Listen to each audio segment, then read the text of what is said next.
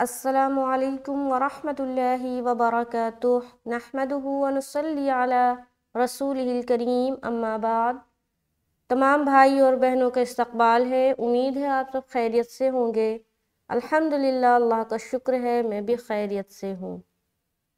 तो कुरान पाक में हम और आप पढ़ रहे हैं सूरा बकरा, पारा नंबर दो। आयत नंबर 216 तक हो चुका है। आज इंशाअल्लाह ताला हम आयत नंबर 217 यानी कि 217 को करेंगे। 217 नंबर वाली जो आयत है वो तकरीबन सेवन एंड हाफ़ लाइंस पर मुश्तमिल है तो इन ताला हम इसको दो पार्ट में करेंगे। तो अगर आप मेरे चैनल पर नए हैं और पहली बार मेरी वीडियो देख रहे हैं और चाहते हैं कुरान को तजवीद के साथ सीखना तो ज़रूर मेरे चैनल को सब्सक्राइब कर ले ताकि मेरी हर आने वाली वीडियो आप तक बसानी पहुँचे। चलिए सबक शुरू करते हैं। अऊज़ु बिल्लाहि मिनश्शैतानिर्रजीम बिस्मिल्लाहिर्रहमानिर्रहीम यसअलूनक अनिश-शहरिल हराम क़ितालिन फ़ीह। कुल क़ितालुन फ़ीहि कबीर। वसद्दुन अन सबीलिल्लाहि व कुफ्रुन बिही वल मस्जिदिल हराम व इखराजु अहलिही मिन्हु अकबरु इंदल्लाह वल फितनतु अकबरु मिनल कत्ल तो यहीं तक आज हम और आप करेंगे। तो सबसे पहले ऊपर आ जाएँ। यस अलूनका यस अलूनका यासीन जबर यस, सीटी आवाज़ ज़ाहिर होनी चाहिए। यस यस यस अलूनका हमजा जबर आ, लाम व पेश। लू, नून जबर न, काफ जबर का। यस अलूनका यस अलूनका समझ आ रही? ये लफ्ज़ समझ आ गया। यहाँ पर लू में हम वो मद्दा कर रहे हैं। बाकी कोई कायदा नहीं है। ज़बर है हर जगह। यहाँ पर सीन से मिला दिया। यहाँ पर ज़बर, यहाँ भी ज़बर, यहाँ भी ज़बर। तो ये लफ्ज़ बन गया। यस आगे। आने शहरी। आइन ज़बर आ। नून शीन ज़ेरनिश शीन हा ज़बर शाह। रा ज़ेर्री आने शहरी। अब यहाँ पर देखिए, ये जो लफ्ज़ है ना, यहाँ पर पहला जो हर्फ क्या है? आइन है। आइन को अपने मखरज से अदा करना है, यानी कि हलक से अदा करेंगे, क्योंकि आइन हरूफ हलकी में से एक है। हरूफ हलकी उन हरफों को कहा जाता है जो हलक से निकलते हैं, जिनका मखरज हलक है, और वो छः हर्फ है। हमज़ा, हा, आइन, हा, गैन, ख। तो ये छः हर्फ हरूफ हलकी कहलाते हैं, क्योंकि इनका मखरज जो है वो हलक है। तो हलक से निकालना है। नून को शीन से मिलाया, निश निश निश, शाह, री, रा को बारीक रखते हुए मारूफ का भी ख्याल रखना है। बाज़ात लोग मजहूल पढ़ते हैं, शहरे पढ़ते हैं। आनी शहरे शहरे नहीं बोलना शहरी री, यानी कि आर आई, री। आर आई री आर ई रे नहीं बोलना, ठीक है? या आर वाई रे नहीं बोलना, री बोलेंगे आर ई क्या होगा? प्रोनाउंस क्या प्रोनाउंस करेंगे? री, उसी तरीके से राजेर री। तो आने शहरी, और ख्याल रहे, इस रा को हमें बारीक रखनी है, ठीक है? आगे आ जाते हैं, इस्लाम के ऊपर क्या है? सुकून है। अब सुकून एक अलामत है, जिस हर्फ के ऊपर सुकून होगा, वो पीछे वाला हर्फ उस सुकून वाले हर्फ से कनेक्ट होगा, यानी कि मिल जाएगा। तो हम इसको जोड़ेंगे, यानी कि कनेक्ट करेंगे रा को लाम के साथ। रा बारीक रहेगी। आने शहरिल, रिल रिल। अब यहाँ पर कोई अगर पढ़ दे, रोइल। क्या पढ़े? रोइल। तो गलत हो जाएगा, क्योंकि रा के बारे में ये कायदा मालूम होनी चाहिए कि रा के नीचे ज़ेर आने से रा को बारीक पढ़ना जाता है। अगर रा के ऊपर पेश है या ज़बर है तो इन दोनों सूरतों में आपने मोटा पढ़ना है। तो यहाँ पर रा के नीचे जेर है और हम रा को लाम से मिलाएँगे। मिलाने की सूरत में रा बारीक ही रहेगी। आवाज़ बारीक आनी चाहिए। आने शहरिल, रिल रिल, ठीक है? आगे। हरामी हा जबर हा र अलिफ जबर मीम जेर मी हरामी हरामी अब हा को कैसा निकालेंगे बिल्कुल हवा की सी अदा होगी ये हा हरामी हरामी इस तरीके से हा को अदा करेंगे रा में अलिफ मद्दा का कायदा बन रहा है और रा को मोटा भी रखना है ज़बर आने की सूरत की वजह से। उसके बाद मीम को जेर की हरकत के साथ पढ़ रहे, आवाज़ मारूफ रहे, हरामे नहीं पढ़ेंगे, में नहीं पढ़ेंगे। जो लोग मजहूल पढ़ते हुए आए हैं, उनको दुरुस्त करना चाहिए, क्योंकि अरबी को मजहूल नहीं पढ़ा जाता, बल्कि मारूफ पढ़ने का हुक्म है। मजहूल हम उर्दू में पढ़ा करते हैं। तो जब भी आप कुरान की तिलावत करेंगे आप मज, मजहूल नहीं बल्कि मारूफ पढ़ेंगे। तो इस बात का ख्याल रखें कि अगर आप मजहूल पढ़ रहे हैं तो उसको दुरुस्त करें। आप किसी भी इस कराम के पास जाकर सही करें या आप यूट्यूब पर देख कर सही करें जिस तरीके से भी लेकिन मजहूल को बहरहाल मारूफ की तरफ़ लाएँ और मारूफ पढ़ें। तो यहाँ पर हम पढ़ेंगे हरामी हरामी। अब जब टोन में पढ़ेंगे यसअलूनक शहरिल हरामी। तो गौर और ध्यान से सुने। देखिए, ये जो लाइन हमने पढ़ी है, उसमें दो रा आ रहा है, एक बारीक है और एक मोटा है। तो दोनों में फ़र्क को महसूस करना है, किस तरीके से अदा करना है। यसअलूनक हरामी। शहरिल हरामी। रिल हरामी। तो फ़र्क महसूस हो रहा है कि बारीक होने की सूरत में रा किस तरह से अदा किया जाएगा और मोटे होने की सूरत में रा की अदायगी कैसे होगी? तो उम्मीद है कि समझ आ रहा होगा। कोई कन्फ्यूज़न हो तो ज़रूर कमेंट करें। आगे चलते हैं।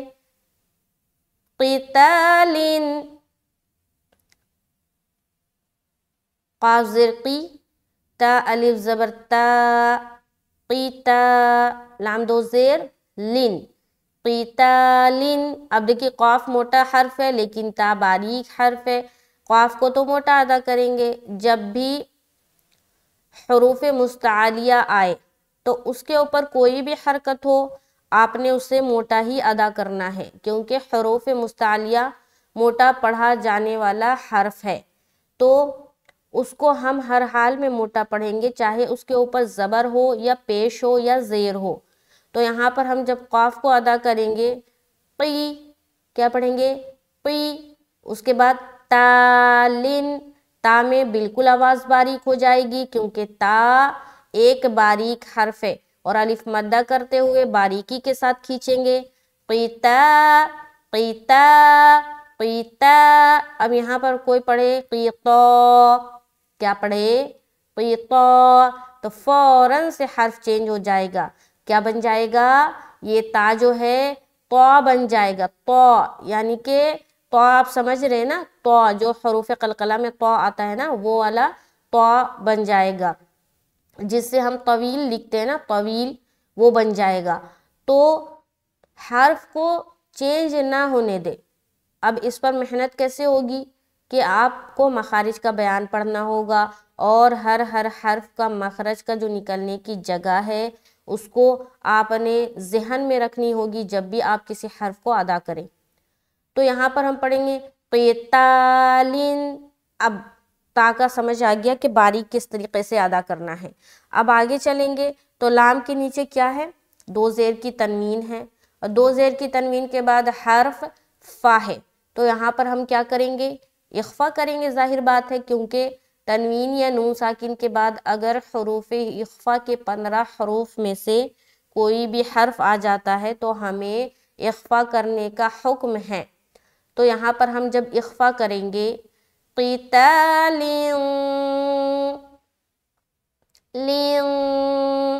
अब बताया था कि इख्फा किस तरीके से होता है। इख्फा करते हुए आवाज़ मखरज को नहीं लगती, बल्कि ज़बान हवा में होती है। तो ध्यान रहे, अपने आप को टटोले, अपने आप को महसूस करें कि जब आप इख्फा अदा कर रहे हैं तो आपकी ज़बान तो कहीं टच नहीं हो रही। अगर नहीं हो रही तो समझ जाएँ कि आप सही कर रहे हैं इख्फा। लेकिन अगर कहीं भी ज़बान टच हो रही है ऊपर, नीचे या दाएँ बाएँ जानिब तो समझ ले कि आप सही इख्फा नहीं कर रहे हैं। तो इख्फा में ज़बान बराबर को होती है हवा में, ठीक है? इख्फा करने का मैंने तरीक़ा भी बताया था, जैसे कि उर्दू में हम एक लफ्ज़ है, क्या है? पंखा। पंखा है ना एक लफ्ज़? उसे उसे हम लिखते कैसे हैं? पा, नून, खा, अलिफ। ऐसे ही लिखते हैं ना?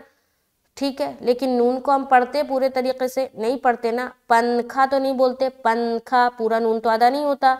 उसमें भी हम इख्फा के तरीके से कहते हैं, पंखा। तो आप गौर करें पंग, जब बोल रहे हैं ना, पंग, जबान कहीं भी टच नहीं हो रही तो यही है इख्फा की अलामत, कि जबान कहीं भी टच नहीं होगी। तो हम क्या पढ़ेंगे? आगे फ़ी पाया फ़ी या मद्दा, और हा के ऊपर स्टॉप करेंगे अगर। मान लीजिए कि हम स्टॉप कर रहे हैं यहाँ, क्योंकि यहाँ पर हमें इजाज़त दी जा रही है कि आप यहाँ पर स्टॉप हो सकते हैं। यहाँ पर तो एक अलामत है कि हमको यहाँ पर इजाज़त दिया जा रहा है कि हम यहाँ पर रुक सकते हैं, यहाँ पर रुकना अलाउड है। तो जब आप यहाँ पर रुकेंगे तो आप क्या करेंगे? रुकने की क्या बताई गई है? कायदा के आखिरी हर्फ का जो भी हरकत होगा उसको हटाएँगे और उस उस हर्फ के ऊपर आपको सुकून लगाना है, यानी कि जज्म लगाना है। तो यहाँ पर सिंपल तरीके से आपको हा के नीचे का जो जेर है, वो हटाना है। और ऊपर में आपको सुकून लगाना है, ठीक है? तो जब आप सुकून लगाएँगे तो हा तो अदा करेंगे ना? हरकत अदा नहीं करनी, लेकिन हर्फ तो बिल्कुल अदा करना है स्टॉपिंग की सूरत में। तो आप जब यहाँ पर सुकून लगाएँगे तो अब क्या पढ़ेंगे आप? फ़ी क्या पढ़ेंगे? फ़ी, यानी कि हा जो हर्फ है, आखिर वाला जो हर्फ है, वो पूरे तरीके से अदा होना चाहिए। उसकी हरकत को अदा नहीं कर रहे, लेकिन हर्फ पूरा पूरा अदा होगा। तो यहाँ पर जब भी हम रुकेंगे तो खास कर जब भी हर्फ हा में हम रुकते हैं, या बाज़ात लोग रुकते हैं तो हा समझ में नहीं आता कि वो हर हा पढ़ रहे हैं। जैसे कि बाज़ात लोग पढ़ेंगे फ़ी, ऐसा पढ़ते। फ़ी तो हा समझ नहीं आया तो हा की बू आनी चाहिए। सुनने वाले को मालूम होना चाहिए कि आप हा के ऊपर स्टॉप हो रहे हैं। तो यहाँ पर जब हम पढ़ेंगे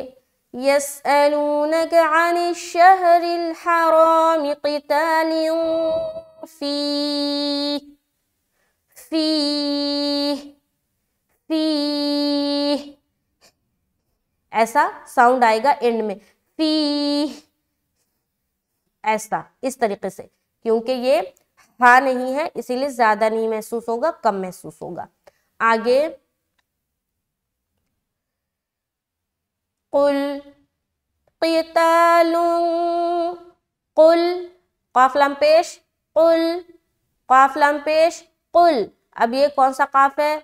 नुक्ते वाली काफ इसे कहा जाता है। जब किसी को हम समझाते हैं ना तो बोल ना पाए ना, जब वो आवाज़ से ना समझे ना, काफ और काफ तो उसको समझाया जाता है। ख़ासकर बच्चों को इस तरीके से हम और आप समझाते हैं कि ये जो काफ है ना, ये नुक्ते वाली काफ है।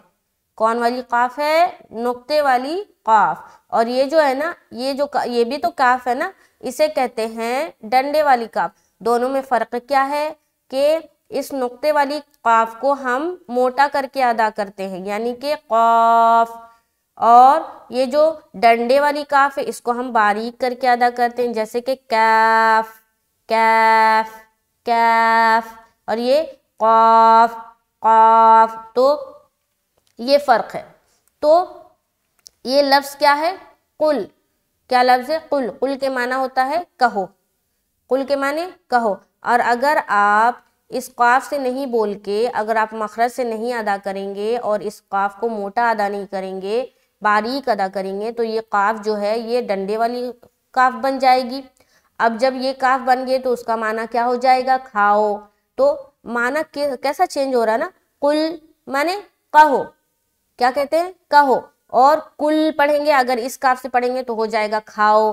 तो माना तो बिल्कुल चेंज हो जाता है। तो हर्फ की अदायगी बहुत ज़रूरी है। ये जो जब हम कुरान पढ़ते हैं ना तो हर्फ की अदायगी का जो सबसे बड़ा अहम रोल है कि उसको मखरज से निकालें। अगर नहीं निकालेंगे मखरज से तो हर्फ चेंज हर्फ चेंज तो माना चेंज, और बाज़ दफ़ा तो माना कुफरिया भी बन जाता है। कुछ ऐसे अगर हर्फ चेंज हुए तो माना कुफरिया हो जाता है। तो इसी वजह से तजवीद का जो सीखना है, वो फ़र्ज़ आइन क्यों बताया गया? क्योंकि हर इंसान को आना चाहिए उसकी अदायगी सही तरीके से, क्योंकि जब वो पढ़े तो माना चेंज ना हो। तो तजवीद का जो सीखना है, ये हर एक इंसान पर फ़र्ज़ आइन है। अगर आपने बचपन में नहीं सीखा, कोई बात नहीं, अब मालूम हुआ है, अब सीखें। सीखने की कोई उम्र थोड़ी होती है। तो अब यहाँ पर हम क्या पढ़ेंगे? कुल कुल कुल। अच्छा यहाँ पर कुल में ना एक और बात का ख्याल आपने रखना है। कि जब भी आप किसी हर्फ को लाम से मिलाए ना तो आपका कलकला नहीं होना चाहिए। बाज़ात लोग लाम में भी कलकला करते, कर रहे होते हैं। तो आवाज़ में कंट्रोल रखे। कुल कुल कुल, ये सही है। अगर कोई पढ़ता है, कुल, क्या पढ़ता है? गौर ध्यान से सुने। कुल कुल, ये जो ना, ले ले ले ले, ये जो साउंड आ रही है ना, ये गलत है। ये नहीं आनी चाहिए तो इस पर रोक लगाएँ। तो ये समझ आ गई, आगे चलेंगे। ठीक उसी तरीके से यहाँ देखिए की मोटा करके अदा करेंगे ता में बारीक रहेगी, अलिफ मद्दा होगा। अल्लाम के ऊपर यहाँ पर दो पेश की तनवीन आ गई।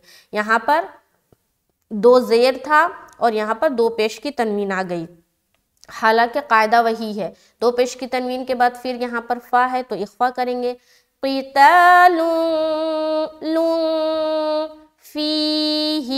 फ़ी में या मद्दा, ही को जल्दी पढ़ेंगे, मारूफ का ख्याल रखे। उसके बाद, कबीर। अब यहाँ पर देखिए, छोटी सी तो है है ना? तो यहाँ पर हम जब स्टॉप करेंगे, यहाँ पर इजाज़त दी जा रही है ना कि आप यहाँ पर रुक सकते हैं, आपको रुकने की इजाज़त है। अगर आप रुकना चाहे तो रुक जाए, नहीं रुकना चाहे तो कोई बात नहीं। तो यहाँ पर जब आप रुकेंगे, इस बात को गौर और ध्यान से सुने, ठीक है? अगर आप यहाँ पर रुकेंगे तो आपको किस हर्फ के ऊपर स्टॉप करना है? आखिरी हर्फ क्या है? रा है। रा है ना? अब रा के ऊपर क्या है? दो पेश की तनवीन है। तो दो पेश की तनवीन को हटाएँगे और यहाँ पर हम सुकून लगाएँगे। तो अब रा क्या बन गया? क्या बन गया? रा साकिन बन गया। तो जब रा साकिन बन गया तो अब इस रा को स्टॉपिंग की सूरत में आपने मोटा रखना है या बारीक रखना है, ये क्वेश्चन पैदा हो रहा होगा दिल में। तो जब भी राय साकीना बन जाए और वहाँ पर आपने स्टॉप होना है, गौर ध्यान से सुने।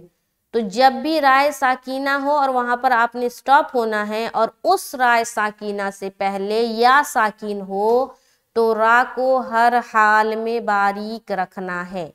ठीक है? जैसे कि यहाँ पर आप देखें, राय साकिना से पहले या साकिन है और या साकिन आ गया तो आप उससे पहले वाले हर्फ को देखेंगे ना तो उससे पहले वाले हर्फ के नीचे क्या है? जेर है। बाज़ात आपको इसी तरह की मिसाल होगी और उससे पहले आपको ज़बर दिखाई देगा। जैसे कि यहाँ पर रा साकीना भी होगा, या साकिन भी होगा और या साकिन से पहले ज़बर होगा। तो इस सूरत में तो आप सोचेंगे कि यहाँ पर तो ज़बर आ रहा है। तो यहाँ पर रा मोटा होना चाहिए। तो नहीं, जब भी राय साकीना से पहले या साकिन आ जाए तो रा को हर हाल में बारीक रखनी है। ये कायदा है राय साकिना माकबल या साकिन का। ठीक है, इस बात को ख्याल में रखे, इसको भूलना नहीं है। बाज़ात आपको रा साकिन से पहले या साकिन और उससे पहले ज़बर दिखाई देगा और बाज़ात जेर दिखाई देगा। जैसे यहाँ भी जेर की ही मिसाल है। पेश की मिसाल पूरे कुरान शरीफ में नहीं है। तो रा साकिन, मा कबल या साकिन हो, उससे पहले कोई भी हरकत हो, रा को बारीक रखते हुए स्टॉप करना है। ये कायदा आप नोट कर ले। तो यहाँ पर हम पढ़ेंगे फ़ी ही कबीर क्या पढ़ेंगे? कबीर आगे चलिए वसदुन वाव जबर वा, स्वाद, दाल जबर, स्वद, दाल दो पेश, दुन। व स्वदुन स्वाद को मोटा रख रहे दुन दाल के ऊपर दो पेश की तनवीन आ गई। दो पेश की तनवीन के बाद हर्फ आइन आ गया। तो यहाँ पर हम क्या करेंगे? इजहार करेंगे। वसदुन अन सबीलिल्लाह। तो इजहार के क्या माना? इजहार के माना है ज़ाहिर करना। यानी कि सिर्फ़ ज़ाहिर करना है। यहाँ पर रुकना या देर लगाना, नाक में आवाज़ को छुपाना, ये सारी चीज़ें नहीं बोली जा रही है। ये सारी चीज़ें वाजह नहीं है, सिर्फ़ ज़ाहिर करना है। तो हम जहाँ पर सिर्फ़ ज़ाहिर करने का बात आए ना, वहाँ पर सिंपल पढ़ के निकलना है, जल्दी पढ़कर निकलना है। उसके बाद आन, यहाँ फिर नून साकिन नून साकिन के बाद सीन तो यहाँ पर इख्फा करेंगे, ठीक है? तो ये दोनों चीज़ें देख ले, यहाँ पर इजहार हो रहा, यहाँ पर इख्फा हो रहा। उसके बाद सबीलिल्लाही, बाया जिर बी या मद्दा लाम लाम जिर लिल्लाही। लफ्ज अल्लाह का लाम बारीक किस वजह से? क्योंकि इस्लाम के नीचे जेर है। अब यहाँ तक देखे तो देखे, इजहार और इख्फा कैसे होगा? वसद्दु अन सबीलिल्लाह। क्या पढ़े वसद्दुन अन सबीलिल्लाह। ऐसा। तो दुन और यहाँ पर अन अंग अंग इस तरीके से, ठीक है? अन नहीं, ये वाली साउंड नहीं। अन, ये वाली साउंड नहीं। अंग अंग इस तरह से। अंग सबीलिल्लाह। एक बार फिर देखें, यहाँ से देखें एक बार। कुल फीही कबीर। वसद्दुन अन सबीलिल्लाह। ठीक है अच्छा। ये तो यहाँ तक समझ में आ गया। यहाँ पर एक और चीज़ें वाजे करूँ। अगर आप यहाँ पर स्टॉप नहीं होना चाहते हैं, फॉर एग्ज़ाम्पल, आपकी सांस इतनी है कि आप यहाँ कबीर में स्टॉप नहीं होना चाहते तो अब इस रा को क्या पढ़ेंगे? मोटा पढ़ेंगे, यानी कि वस्ल की सूरत में। वक्फ की सूरत में, वक्फ यानी कि रुकने की सूरत में आप यहाँ पर रा को बारीक रखेंगे, लेकिन वस्ल की सूरत, वस्ल यानी कि मिलाने की सूरत में रा को मोटा पढ़ेंगे, और फिर कौन सा कायदा बनेगा? इदगाम नाकिस का, क्योंकि यहाँ पर दो पेश की तनवीन के बाद वाव आ गया तो इस रा को इस वाव से मिलाना होगा। अब आप सोचेंगे कि वाव के ऊपर तो शद ही नहीं है या मिलाने वाली कोई अलामत है ही नहीं तो क्यों मिलाएँगे? तो सुने, जब भी तनवीन या नून साकिन के बाद हरूफ यरमलून आ जाए, उसके ऊपर तशदीद हो या ना हो, आपको खुद से मिला देना है, ठीक है? तो यहाँ पर कबीरू ऐसा पढ़ेंगे। अच्छा आगे चले। सबीलिल्लाही, यहाँ तक हो गया आगे। व जबर व काफा पेश कुफ मीम दो पेश रुम अब यहाँ पर इकलाब का कायदा आ रहा है ठीक है नून को मीम से बदलकर गुन्ने और इख्फे के साथ पढ़ेंगे क्यों क्योंकि यहाँ पर तनवीन के बाद क्या आ रहा है हर्फ बा जब भी तनवीन या नून साकिन के बाद बा आ जाए और वहाँ पर अलामत के तौर पर छोटी सी मीम बनी हो तो नून साकिन को मीम से बदलकर गुन्ना और इख्फा के साथ पढ़ा जाता है, जो कहलाता है इकलाब का कायदा। अब गुन्ना इख्फा दोनों कैसे होगा? तो 90 परसेंट आपको गुन्ना करना है और 10 परसेंट, यानी कि थोड़ी सी बू आएगी इख्फा की। ठीक है, गोया कि आप नाक से बोल रहे हैं, नाक से पढ़ रहे हैं। तो यहाँ पर जब पढ़ेंगे, कुफ्रुम रूम, इस तरीके से, रूम रूम, समझ आ रही? उसके बाद बी ही, बाजर बी, हा खड़ी जर ही, बी ही एक अलिफ खींच रहे, आगे, वॉल आम जबर वल, मीम सीन जबर मस, जीम जेर जी, दाल लाम जेर दिल, हा जबर हा, रा अलिफ जबर रा, मीम जेर मी। व मस्जिदिल हरामी। यहाँ पर क्या करना है? हा पर गौर करना है और रा को मोटा रखते हुए अलिफ मद्दा करेंगे। व मस्जिदिल हरामी। स्टॉपिंग सूरत में। व मस्जिदिल हराम। ठीक है, समझ आ गई, आगे चले।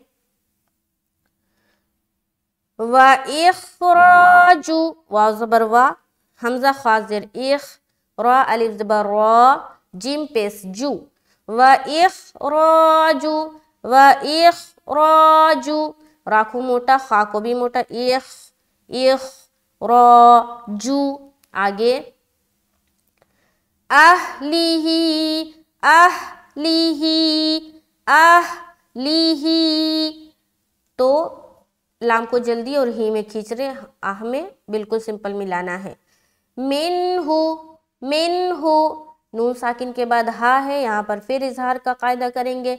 मिन हो मिन हो मिन हो, मिन हु मिन हु, नून ज़ाहिर, उसके बाद हा पढ़ रहे हैं। ये हो गया इजहार का कायदा। आगे, अकबरु, क्या पढ़ेंगे? अकबरु अब यहाँ पर बाजूकात लोग पढ़ते आके बरू आके बरू आके बरू, ये गलत है, आके आके, ऐसा साउंड नहीं आना। अकबरू बिल्कुल साफ़ सुथरी आवाज़ में पढ़नी है, ठीक है? अकबरू अकबरू देखिए, काफ में जैसे आवाज़ पहुँच रही है स्टक हो जा रही है, वहाँ से लौटती हुई तो मालूम नहीं हो रही, जुदा होती हुई मालूम हो रही है, नहीं हो रही अकबरू अकबरू बिल्कुल सिंपल रा को मोटा रखना है आगे।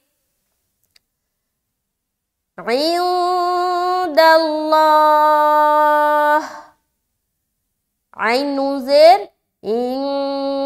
और दाल लाम जबर, दल लाम खड़ा जबर ला हाजिर ही लफ्ज अल्लाह का लाम मोटा, चूँकि दाल के ऊपर जबर है, और नून साकिन के बाद दाल है तो इख्फा का कायदा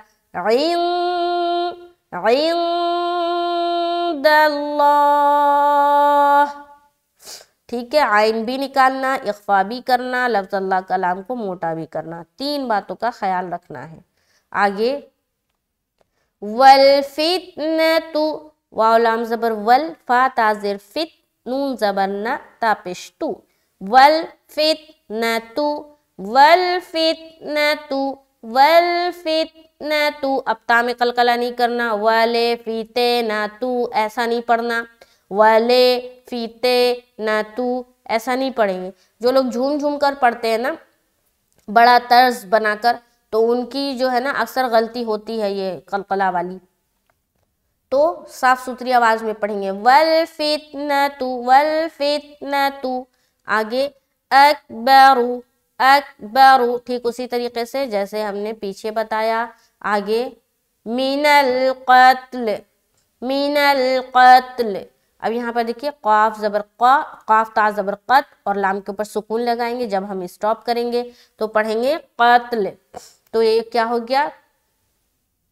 वल फितनतु अकबर मिनल कत्ल मिनल कत्ल कत्ल कत्ल। ठीक है? अच्छा ऊपर से देखिए एक बार। बिस्मिल्लाहिर्रहमानिर्रहीम। यसअलूनक अनिश शहरिल हराम क़ितालिन फीहि कुल क़ितालुन फीहि कबीर वसद्दुन अन सबीलिल्लाहि व कुफ्रुम बिही वल मस्जिदिल हराम व इखराजु अहलिही मिन्हु अकबरु इंदल्लाह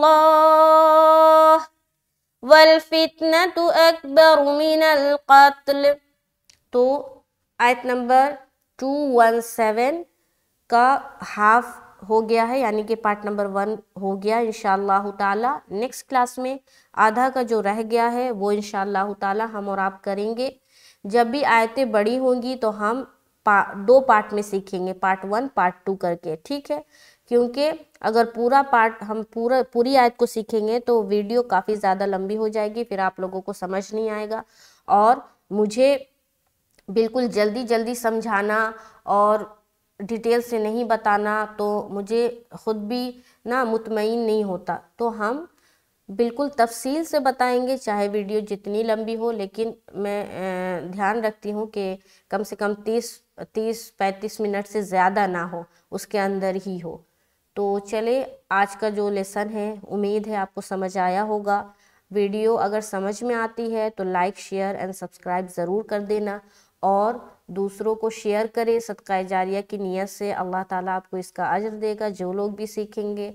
यकीन जाने ये जो कुरान की जो तालीम है ना, ये पूरी दुनिया में आम होनी चाहिए। और हर एक इंसान को, चाहे वो मर्द हो, चाहे वो औरत हो, हर एक को तजवीद के साथ कुरान पढ़ना आना चाहिए। तो आप अपने बच्चों को भी ऐसे इस कराम से तालीम हासिल करवाएँ, जो तजवीद के साथ सिखाते हों।